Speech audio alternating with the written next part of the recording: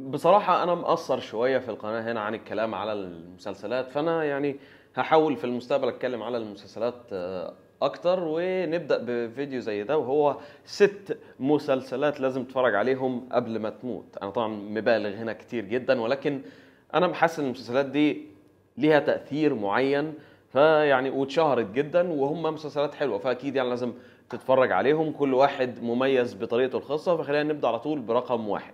وملاحظة قبل ما نبدأ المسلسلات اللي أنا هركز عليها في الفيديو ده هي المسلسلات اللي فعلا يعني مسلسلات بتحكي قصة آه، خيالية يعني مسلسلات fiction. بالنسبة للمسلسلات أو الحاجات اللي هي وثائقية زي مثلا Cosmos والحاجات دي دي هنخليها لفيديو تاني. هي أيوة دي مهمة جدا ولازم الناس تروح تتفرج عليهم. ولكن إحنا بس هنركز النهاردة في الحاجات ال fiction وليس الوثائقية. رقم واحد عندنا Breaking Bad طبعا مش محتاج أتكلم كتير على Breaking Bad هو يعني حاجة طلعت كده هو في بتاع 2008 وانتشرت في العالم كله. كل العالم كان لازم يتفرج على Breaking Bad ولسه لحد دلوقتي في ناس بتبدأ تتابع Breaking Bad ومفيش أي مشكلة إن هو لسه حلو لحد دلوقتي. هو تقريبا ست مواسم وكل موسم برقم حلقات قليلة. ب 8 ممكن 13 14 و10 كده وحاجات صغيرة. لو انت فعلا آه، عجبك أول حلقتين كده أهو هتكمل المسلسل ممكن تخلصه في أسبوع. ولكن في ناس بتعتب على Breaking Bad لأن الموسم الأول والتاني بطيء نوعا ما ولكن بعدين بتبقى حماس 100% فلو حد ما اتفرجش على Breaking Bad بكل بساطة أكتر واحد ما, ما تتخيلش إن هو يكون راجل عنيف في الدنيا بيتحول إلى أكتر واحد gangster في الدنيا. ب Breaking Bad رقم اتنين وهو Death Note أيوه أنا هعتبر Death Note من المسلسلات. أنا عارف إن هو انمي ولكن انمي مسلسل. ما يعني ما فرقتش حاجة. بس لو أي حد ما اتفرجش على أي انمي في حياته دايما هتلاقي كل الناس بيقول لك اتفرج على Death Note وأنا شايف إن Death Note فعلا يعني يستحق إن هو يكون واخد اللقب ده اللي هو المسلسل اللي حتى الناس اللي ما تتفرجش على انمي بيتفرجوا عليه. لأن Death Note هو شيء مميز نوعا ما كده هو لوحده. فلو أنت عايز تبدأ تدخل عالم الانمي ابدأ ب Death Note لو أنت مش مهتم خالص بعالم الانمي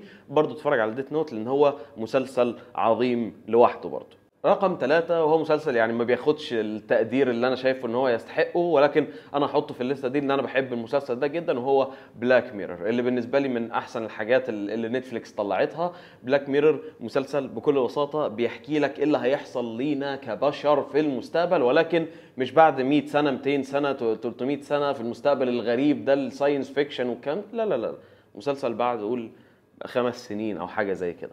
وما تتخيلوش قد إيه المسلسل ده بيرعبك بس انت لما تتفرج عليه لأن فعلا انت شايف ال- الأمثلة اللي بتحصل دي قدامك دلوقتي في العالم الحقيقي. فمن هنا بيحصل ال ال mind twisting. أنصح بيه جدا ودلوقتي خلينا ننتقل لرقم أربعة وهو مسلسل House MD. هو أيوه House يعتبر مسلسل طويل جدا بمواسم طويلة جدا بس الحاجة الحلوة في House إن كل حلقة ماسكة نفسها. كل حلقة ب- ب- بحالة مرضية غريبة. كل حلقة بقصة صغيرة ماشية فيه كده هو. ولكن انت مثلا لو اتفرجت على الحلقة الأولى من الموسم أوكي انت فاهم الموسم ده كامل بيحكي أني قصة. يعني مثلا الموسم ده بيحكي قصة ال...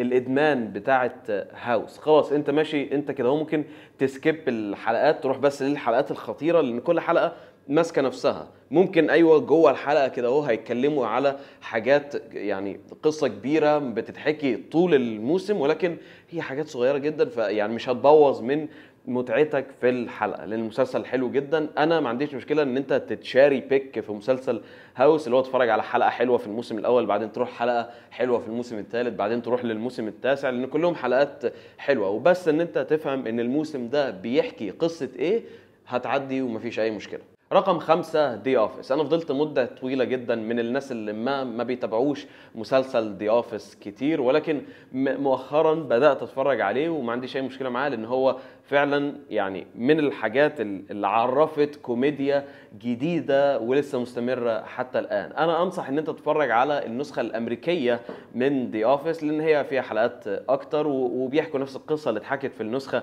البريطانية ولكن النسخة البريطانية صغيرة ونوعا ما تحس إن هم ما قدروش يعملوا كل حاجة كانوا عاوزين يعملوها ولكن عملوها في النسخة ال- الأمريكية. وأنا عامة يعني أنا بحب الكوميديا البريطانية أكتر من الأمريكية بس في النسخة الأمريكية بتاعة The Office تحس إن هم واخدين راحتهم أكتر. وبعدين ستيفن كريل بيضحك في أي حاجة. فتخيلوا أنت جايب ريكي جيرافيز وهو اللي بيعمل The Office وجايب لك ستيفن كريل. ف it's really good في البداية أنت أيوه ممكن ما تكونش فاهم إيه اللي بيحصل أو إيه الكوميديا اللي طالعة من الموضوع بس يعني على الحلقة الخامسة والسادسه حاجة في دماغك هتعمل okay صح ده أحسن حاجة أنا اتفرجت عليها في حياتي.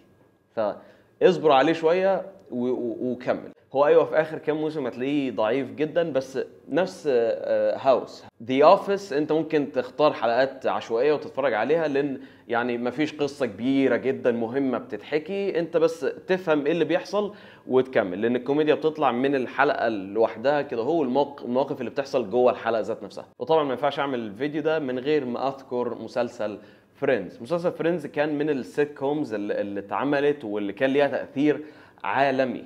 هو أيوه دلوقتي أنت لما تروح تتفرج عليه ممكن تلاقي إن بعض النكت يعني إدمت شوية أو الطريقة اللي بي بيتعمل بيها بقت قديمة. وفكرة السيت كوم ذات نفسها حاليا في الوقت اللي إحنا عايشين فيه الناس بدأوا يستغنوا عنها لأن فكرة ال- ال laugh tracks وإن حد يقول أي كلمتين كده وبعدين ها ها, ها, ها الناس من ورا تضحك الناس عدوا المرحلة دي. لا أنا مش غبي عشان تقول لي أضحك إمتى وما أضحكش إمتى. بس Friends برضو هيفضل ليه ال- المكان ال- الجميل المخصص ده في قلب كل واحد خاصة لو أنت من جيل التسعينات أو بداية الألفينات. هيفضل ليه مكان مخصص وهو عرف كوميديا فضلت مستمرة بعدها لفترة طويلة. فلو أنت عايز تعرف الأصل جه منين هو Friends وحاجة زيادة عايز أديها ل Friends لأن هو عملها بشكل حلو جدا. إن هو من المسلسلات القليلة جدا اللي استمرت لمدة طويلة يعني عشر سنين بعشر مواسم وكل موسم 24 حلقة وقدر يختمه بشكل صح. فدي حاجة لازم يعني تديله ال- التقدير اللي هو يستحقه. وبس أعزائي المشاهدين دي كانت كل حاجة عندي للفيديو ده. اكتبوا لي في الكومنتات إيه مسلسلات تانية أنتوا شايفينها إن هي خطيرة جدا وما تتكلموش عنها مسلسلات جديدة طالعة. لأن أيوه في مسلسلات جديدة طالعة جميلة جدا بس الاختبار الحقيقي للمسلسلات لما يعدي عليها فترة طويلة وبعدين ترجع تحكم عليهم. فيعني قولوا لي إيه رأيكم في الكومنتات؟ تنسوش تعملوا like و share للفيديو لأن ده بيساعد وأشوفكم إن شاء الله في الفيديو الجاي. سلام.